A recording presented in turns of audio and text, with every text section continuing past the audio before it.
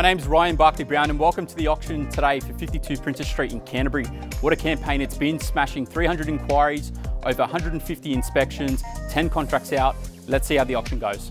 On behalf of the team at Richard Matthews, welcome here today. Outstanding property on offer here, reimagined, renovated and extended to perfection.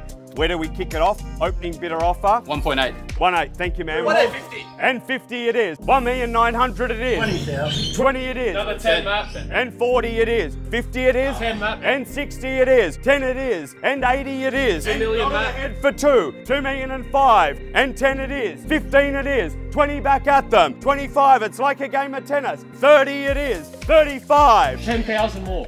2 million and 45. 50 it is. 2 million and 60. And 60 it is. 61 it is. 2 million and 70,000. 71. 75. 75 it is. At 2 million 75, we're selling.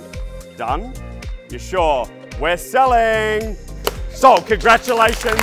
Welcome to Canterbury and well bought.